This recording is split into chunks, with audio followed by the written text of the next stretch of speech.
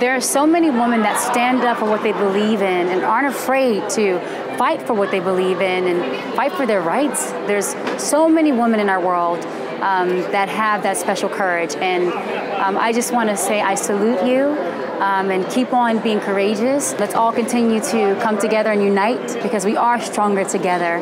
Sending you lots of love, ladies. Let's go.